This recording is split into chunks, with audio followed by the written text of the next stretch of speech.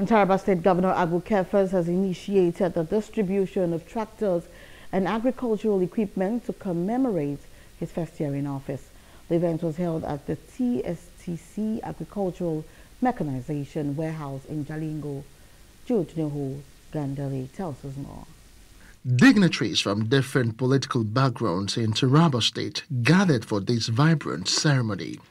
They played a significant role in the introduction of the new technology-driven tractors acquired by the Kefas administration to commemorate his one year in office. Addressing the attendees, Governor Kefas emphasized that this occasion is not only about revealing the tractors, but also about instilling hope progress and a promising future for all farmers. He reaffirmed his dedication to revitalizing the agricultural sector and enhancing productivity through procurement.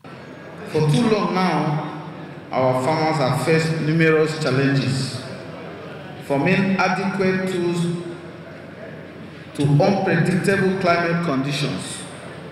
Today, we take a significant step towards overcoming these challenges and harnessing the vast agricultural potential of our state. The governor announced that the tractors are furnished with cutting-edge technology, signifying his administration's dedication to modernizing agriculture in the state.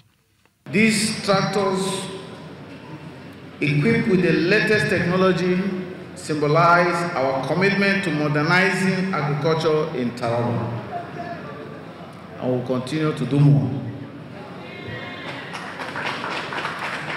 This represents a new era where farmers will no longer be limited by outdated equipment.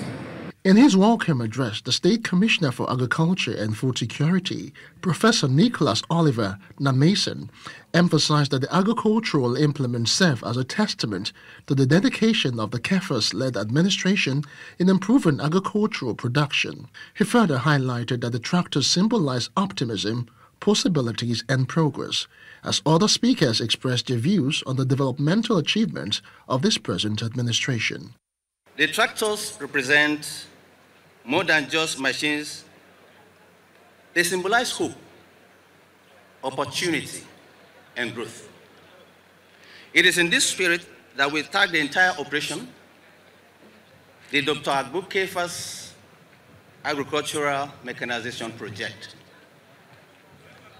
As part of our commitment, we have trained 250 youths who will mount these tractors, operate them, repair them, and maintain them, because this will ensure their effective utilization. You have done you have removed 30% of poverty in Taraba State because it's only production. The remaining 70%, Your Excellency, you have to work hard. That is the value chain of what we are going to produce.